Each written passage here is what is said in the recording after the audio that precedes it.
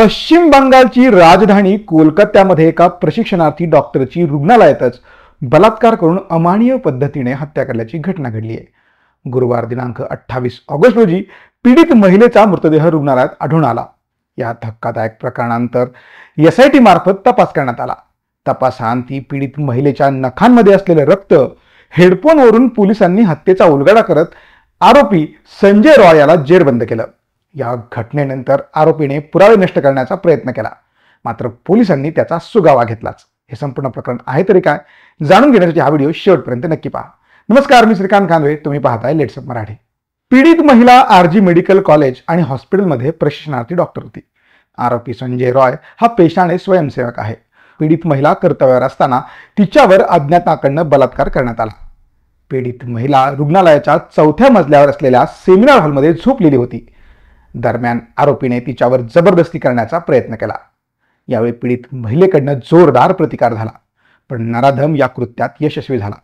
हा नाराधम बलात्कारापर्यंतच थांबला नाही तर त्याने बलात्कारानंतर पीडित महिलेची अमानवीय पद्धतीने हत्या केली. या हत्येनंतर पश्चिम बंगालमध्ये सर्वच राजकीय पक्षांकडनं निषेध नोंदवण्यात आला.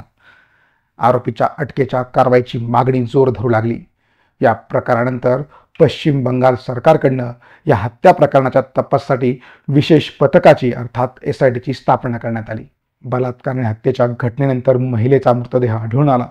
ही घटना कोलकात्यात पसरताच नागरिकांकडनं संताप व्यक्त करण्यात आल्याचं पाहायला मिळालं. पोलिसांनी घटनास्थळावर पंचनामा करून महिलेचा मृतदेह शवविच्छेदनासाठी पाठवण्यात आला. याचा अहवाल आला आणि पीडित महिलेचे डोळे तोंड आणि प्रायव्हेट पार्टमधला रक्तस्राव तसेच पोटावर मानेवर हाताला आणि ओठांवर जखमा असल्याचं समोर आलं. विशेष म्हणजे आरोपी नरधमाने या महिलेची मानही मोडली होती. एस आय टीच्या पथकाला घटनास्थळावर एक ब्ल्यूटूथ हेडफोन देखील मिळाला. हा headphone C C T V फुटेजमधील एका व्यक्तीकडे दिसून आला. एवढंच नाही तर पीडित महिलेच्या नखांमध्ये आरोपीच्या त्वचेचं मांस आणि रक्त लागलेलं देखील दिसून आलं. याच आधारावर एस आय टीने आरोपीच्या मुसक्या आवळला पोलिसांनी आरोपीला ताब्यात घेतल्यानंतर त्याची चौकशी करत घराची झाडाझडती देखील घेतली. यावेळी पोलिसांनी आरोपीच्या बुटाला रक्ताचे डाग असल्याचे देखील पाहिलं आणि हेच रक्ताचे डाग आरोपीने नष्ट करण्याचा प्रयत्न देखील केला. मात्र पोलिसांना अंधुक स्वरूपात हे डाग आढळून आले आणि पोलिसांना त्याची खात्री पटली. आर जे कार मेडिकल कॉलेजमध्ये महिला डॉक्टरवर बलात्कार आणि हत्या झाल्याच्या निषेधार्थ रिक्लेम द नाईट नावाने निदर्शनं सुरू झाली. यावेळी आंदोलकांनी कॉलेजच्या मालमत्तेचं नुकसान देखील केलं. प्रचंड तोडफोड देखील झाली.